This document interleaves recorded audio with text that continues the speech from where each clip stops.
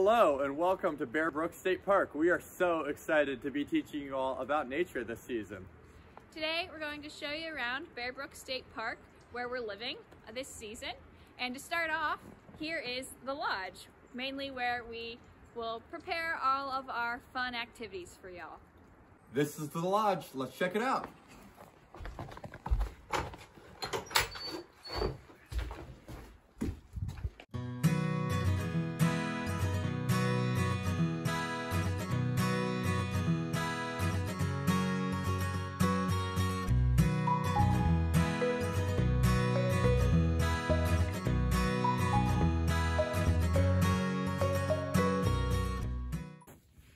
Here we are at Bear Brook, the namesake for our beautiful home this season, Bear Brook State Park.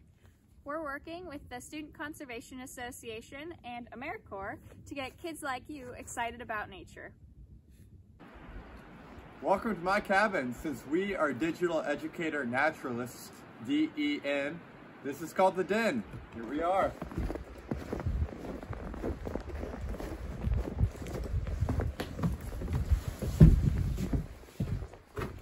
It's always a good place to relax. All right, and this is my cabin, and we're gonna take you inside so you can see where we live.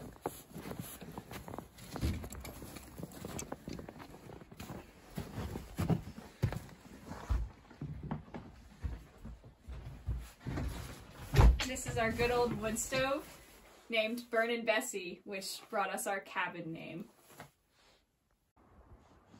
Bear Brook is also an excellent place for recreation. Woo!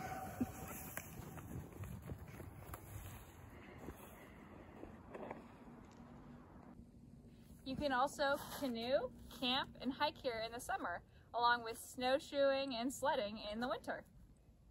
That's a good one. And it's a great place to make new friends. And we're always ready to swing into our next adventure.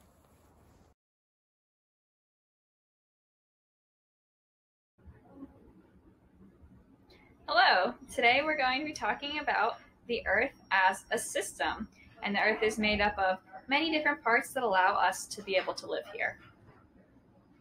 So here is a picture labeling all of the different spheres of the Earth, and there are four of them.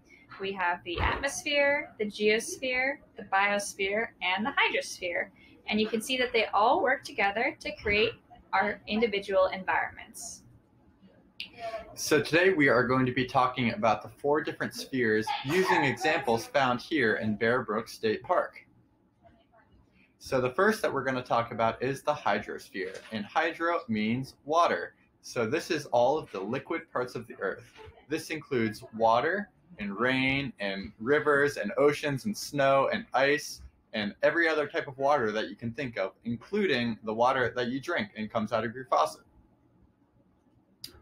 So now we're going to give you a chance uh, to talk about with either yourself or uh, with discuss as a class some examples of the hydrosphere around you. So teachers, you can use this to pause to um, use as a discussion. Some examples we came up with were the Merrimack River and the New Hampshire coast. Okay, now we're moving on to the geosphere. And geo means ground. It is the solid, non living parts of the earth. So you can see the rock at the upper right hand side, and we have minerals, which make up rocks. That's why they're so rough when you can feel them. And we also have just landscapes in general. You can see Mount Washington over there on the bottom. And the geosphere kind of forms the basis for all of the other spheres. It's the ground that you stand on and lets us be here on Earth. So now it's your turn. What do you use the geosphere for?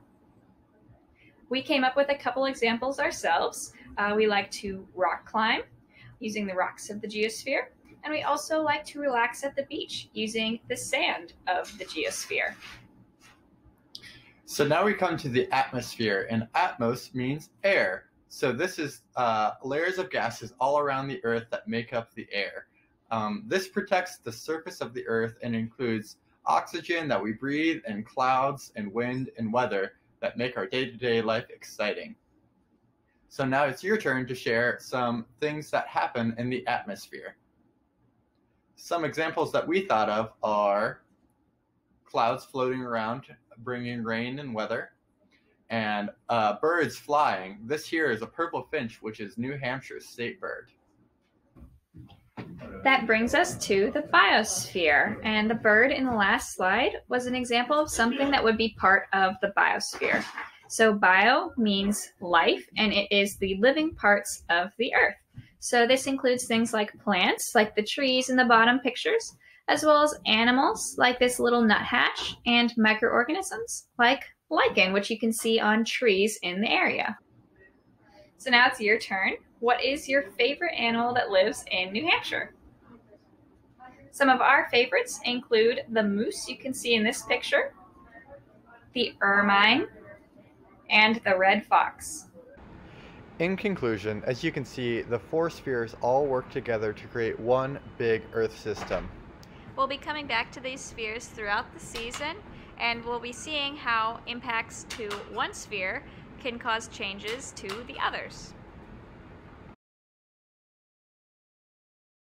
We are now going to introduce the Earth Stewardship Pledge. We're going to end our lesson every week with this to help reaffirm our commitment to the Earth.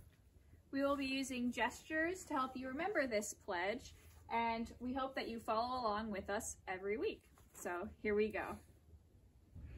I pledge to care about the world around me, to investigate and explore the world around me, to share my learning and do service, to make the world around me a better place for plants, animals, and people. I carry this commitment with me always. I am an Earth Steward. We hope that you enjoyed the Earth Steward Pledge and that you continue to practice that as the weeks go on. We're going to finish up the lesson today by doing a journal. So we're going to end our lesson every week with a journal, and this the purpose of the journal is to make sure that you are learning what you want to learn and that we make sure that that happens. So today's journal is we're going to start off easy and we're just going to take 5 minutes and answer these questions in the Google Slides.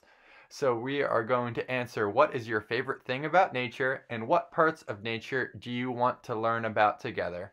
So go ahead and take 5 minutes to complete that and thank you very much. And we will see you next week. Bye bye.